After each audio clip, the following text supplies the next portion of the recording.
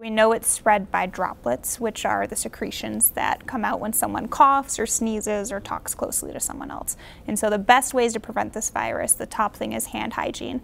And I know this is, you've heard it everywhere, but we can't stress it enough. Uh, washing your hands frequently, doing it correctly for 20 seconds or longer, preferably with warm water. If you can't get to a sink, then use a hand sanitizer, something preferably that's ethanol-based alcohol-containing hand sanitizer.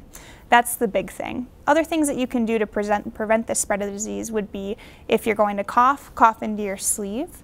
Um, if you are touching high touch surfaces to make sure that you're cleaning those or using a tissue to open a door, for example.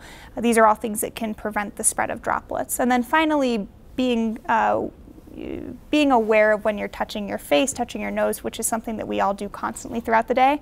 You won't even notice it until you stop trying to do it. Mm -hmm. um, but these are mucous membranes that are a site of entry for the virus. And so trying to be aware of when you're doing that and avoid it when possible.